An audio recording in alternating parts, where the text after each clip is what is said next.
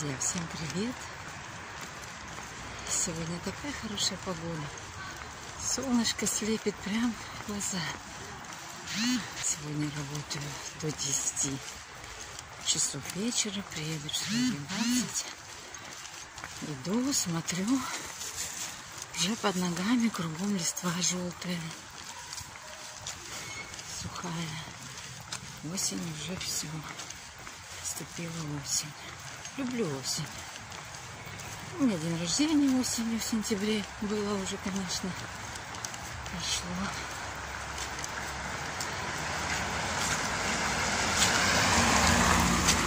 Люблю и зиму.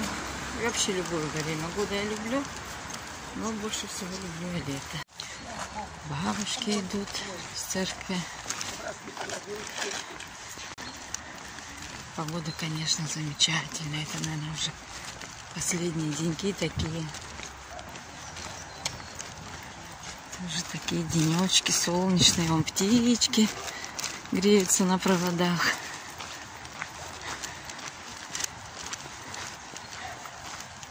Приеду уже часов 12 домой.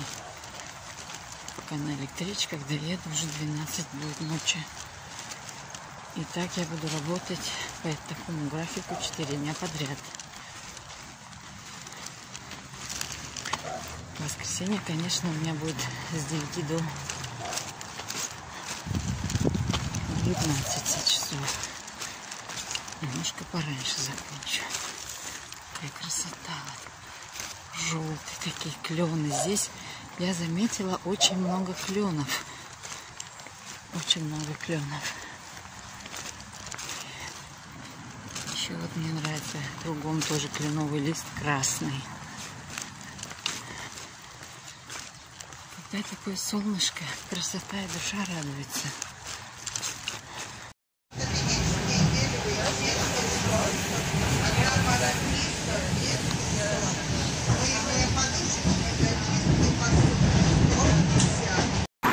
Друзья, конечно, когда переезжаешь в другой город, это стресс. Это большой стресс. И эмоционально, и материально, и физически. Работа, жилье и так далее. Это все накладывает свой отпечаток. И первое время, конечно, мы получаем большой стресс. В принципе, у нас никого в Москве знакомых нет никого. Живет моя подруга. Одна единственная моя подруга живет. Мы с ней раньше работали в Хабаровске вместе в супермаркете несколько лет. Она тоже не местная, не с Хабаровска была.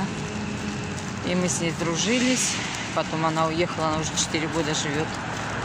Уехала в Москву тоже. То в одном городе, то в другом искала себя. В итоге она остановилась в Королеве. Сейчас у нее там работа и школа рядом для ребенка. Квартиру нашли. Как-то тихо, спокойно, уютно. И вот благодаря ей, я ей очень благодарна за большую поддержку. Когда приехали, конечно же, она нас приняла, хотя у нее условия у самой не такие большие, чтобы принять нас. Я имею в виду квартира. Но благодаря ее доброму сердцу мы у нее оставались и не один раз, и не один день. Вот когда этот раз тоже приехали, мы тоже у нее остались. Она тоже молодец. Поддерживала во всем, что можно было.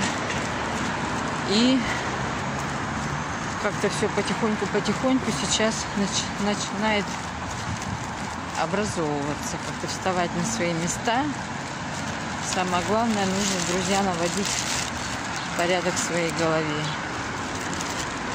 Порядок в своей голове – это самое главное в своих мыслях. Тогда, когда ты уже свои мысли расставишь по местам,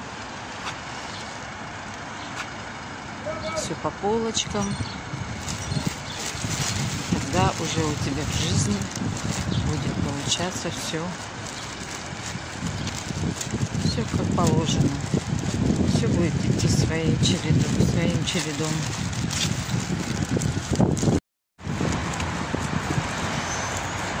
Магазин пятерочка.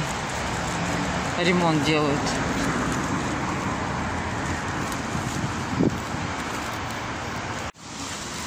Друзья, конечно, много планов, много вариантов, много что хочется сделать, изменить в своей жизни. Все это приходит, но не нужно торопиться. Все, что тебе Господь Бог для тебя уже приготовил, оно будет постепенно, постепенно осуществляться, если это твое. Поэтому все потихоньку. Не надо никуда торопиться, не надо никуда спешить. Жизнь у нас одна. И надо наслаждаться и брать все от жизни, все, что ты можешь. Надо радоваться всему. Надо благодарить людей, и тогда тебе вернется эта благодать. То есть жить в этом мире нужно с добром, с любовью, наслаждаться тем, что есть. Сами вы понимаете, что живем мы один раз. И то, что кто-то грубит и у кого-то какая-то ненависть, это хорошего никому не приведет и нехорошего ничего не даст. Поэтому, друзья, живите в любви, живите в уважении, уважайте друг друга, относитесь друг к другу с добром, не отвечайте злом на зло. И потом к вам будет возвращаться только благодать, только благодать.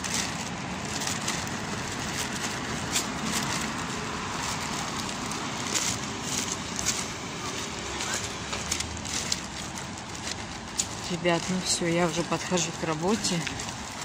Всем добра желаю. Спасибо за просмотр. Кто не подписался, подписывайтесь на мой канал. Ставьте лайки, пишите комментарии. И внизу под моим видео есть ссылочка. Подписывайтесь, пожалуйста, на мой инстаграм. Буду благодарна. Всем всего хорошего. Пока-пока.